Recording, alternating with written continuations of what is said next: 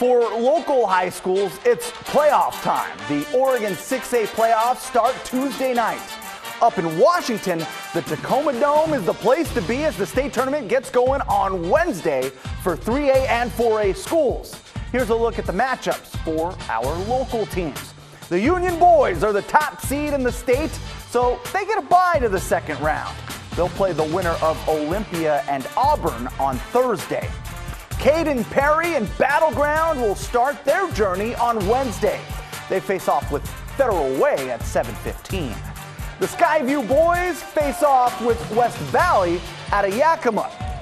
Tip is set for 345. The winner advances to play Central Valley. Valleys are well represented in the state tournament. The Camas girls have an early start Wednesday morning. They'll meet Glacier Peak at 9 a.m. And just like the boys, the Union girls get a bye to the second round.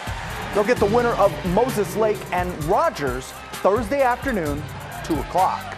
In the 3A tournament, the Evergreen Plainsmen play in one of those early games. They'll take on Rainier Beach at 12:15 on Wednesday. That's lunchtime viewing, folks. And the Hudson's Bay Eagles are on a mission. They'll meet Lake Washington Wednesday at 3:45. The winner advances to face Mount Spokane.